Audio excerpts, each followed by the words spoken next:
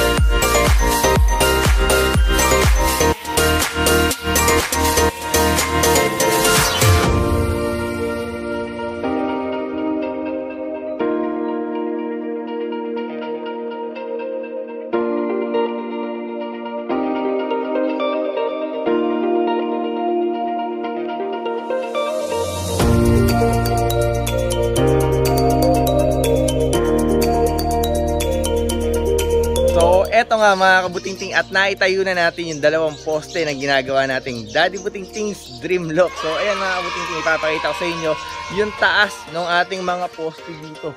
So, ayan, kung makikita nyo, hanggang doon sa may puno ng ating uh, malunggay, Wow. diba? So, napakataas at inakyat ko nga kanina. So, kapag nasa taas kayo, eh, nakakalula mga kabutingting. Dahil yung haba ng bawat poste natin dito, eh 20 feet. Kaya naman talagang mataas yung maging loft natin dito. So mas mataas ng konti doon sa bubungan yung ating pinaka sahig ng maging kulungan natin. And ito, naitayo na natin yung dalawa. So ayan, matigas agad yung semento kahit kabubuhos lang.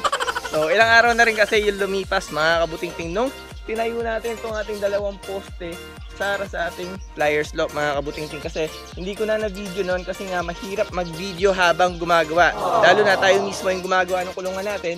So trabaho muna and then ito nga susunod na lang yung video. So ayan dalawang poste pa lang to. So bukas mga kabutingting eh maghuhukay ulit tayo dito sa side naman na to para dun sa dalawang poste pa natin na itatayo. So dito banda yung isa and then dun sa loob yung isa. Ayan. So bali yung sukat ng kulungan natin dito mga kabutingting na gagawin ay 6 by 8 feet mga kabutingting. So saktong-sakto lang yung laki niya no, tamang-tama lang para sa ilang kalapate lang yun mga kabutingting kasi nga eh konti pa lang naman yung alaga natin, di ba? So sakto-sakto lang yun pero mataas nga. So yun yung kinagandahan, mataas yung gagawin natin kahit na sakto lang yung sukat ng gagawin natin kulungan. So ito, layo tayong konti para makita niyo yung tsura, yung taas niya. Ayan. So, di ba?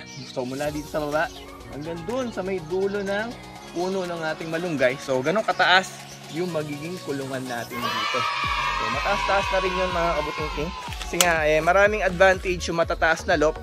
No? Kapag mataas yung loft natin, eh, hindi na naghahanap ng ibang tatambayan yung mga kalapati natin. Kasi nga, gustong gusto nila yung matataas. So, kapag mataas yung bahay nila, eh, diretso na lang sila sa bahay kaysa tatambay pa sila sa mga bubong. Ayan, so wala naman tayong katabing bubong na mataas, 'di ba? Bukod dito. Ayan. So dito mga kabuting magtatayo na lang tayo dito ng flag, no? Maglalagay tayo diyan ng mataas na flag para hindi sila tutungtong dito at ah, diretso sa landing board yung mga kalapati natin. So ito nga pala, meron tayong 3D model. Gumawa tayo ng miniature ng gagawin natin kulungan para eh, meron tayong paggagayahan. No? Mas madaling gumawa kapag ka meron tayong model. Yan. Ay, may tagang malaki. so, ito yung model natin. Ayan. So, gawa lang sa recycle yung model natin dito. Ayan. So dito tayo sa maliwanag dahil inabot na tayo ng gabi. Ayun. So ayan nga mga kabutingting yung model natin dito mga kabutingting. Ayan. So ito yung magiging itsura ng loft natin. So ipatong muna natin dito para maituro ko. Ayan. So, ito nga mga kabuting yung itsura ng magiging loft natin. So, kung mapapansin nyo, eh, nandito yung release door o yung pinakabilaran natin. Tapos, eh, nandito yung ating viewing area na nakakonect naman sa trapdoor na gagawin natin dyan. Ayan. Bali, ito mga kabuting-ting, eh, nakaharap to dito. Yan. So, yan. Ganyan na ganyan yan kapag ka naitayo natin mga kabuting-ting. Ayan. Yan, di ba? So, ganyan na ganyan yan yung pwesto niya kapag ka natapos na. So, yung release door nga natin, eh, kakaiba. Kesa sa mga common na mga loft, mga kabutingting. So, yung aviary natin, yung ating bilaran nandito sa side na to. Tapos yung ating landing board, eto na.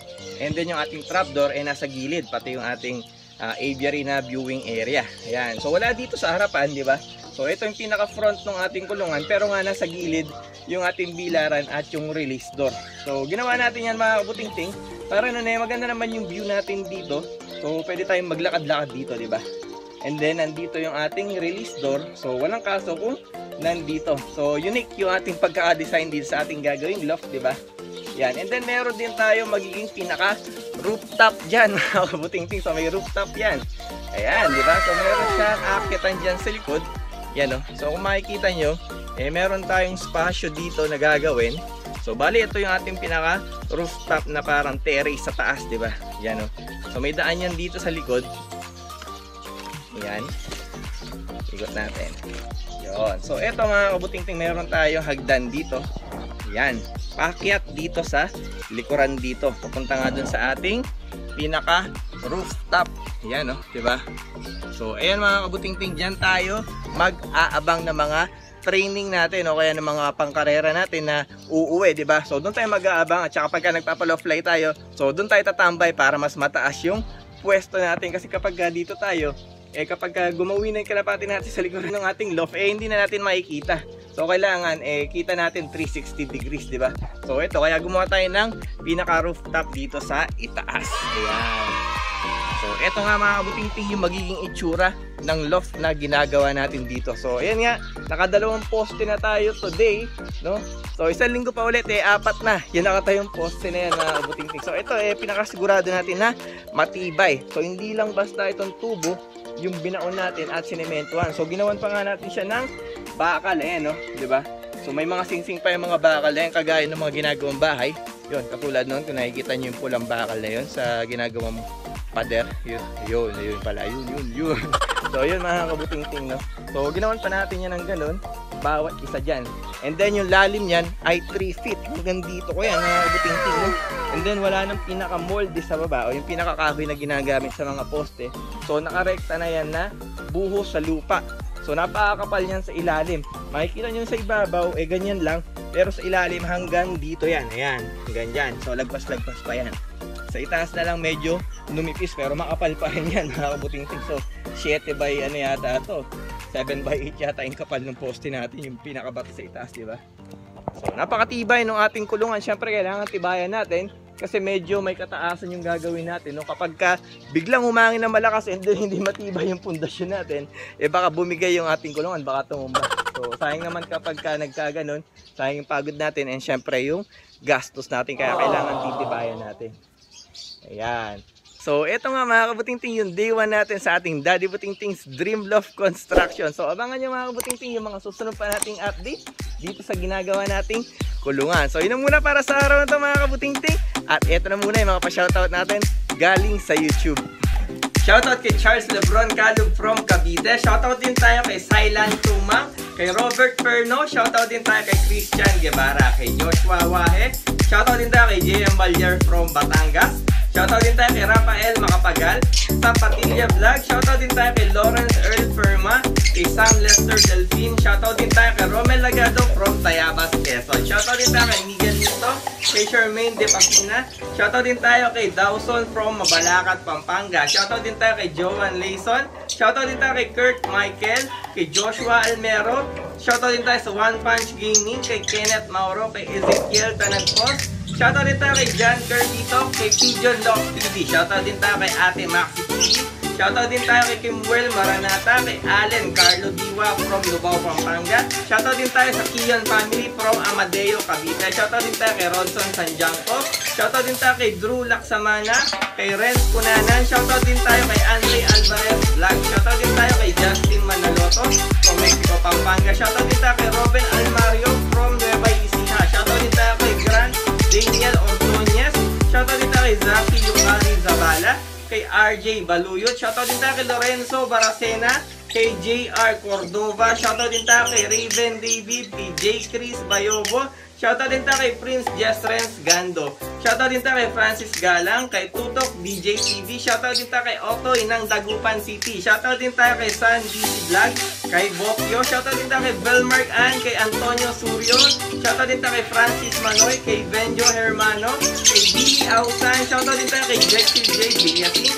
Shoutout din tayo kay Jerome John Rosco, kay Jerry Marshall, at shoutout din tayo kay John Russell Sakno. So maraming maraming salamat mga kabutiti sa patuloy niyong pagsuporta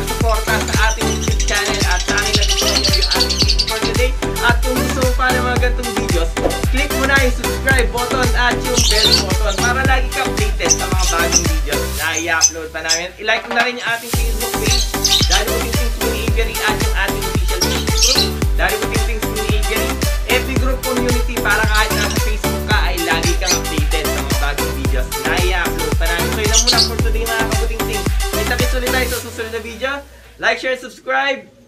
Bye-bye.